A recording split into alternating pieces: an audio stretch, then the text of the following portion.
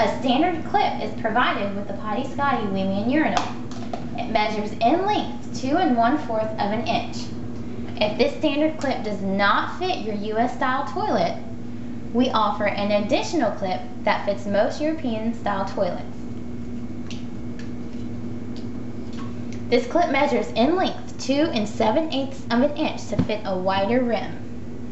The process to remove the standard saw clip is a simple snap on and snap off procedure. Once you snap off the original clip, you will then proceed to place the alternate clip through the grooves for a snug and sturdy assembly. Once the clip has been applied to the Potty Scotty Wee-Man urinal, you will then place the outer portion of the clip on the side of the rim until you hear the sound of a snap.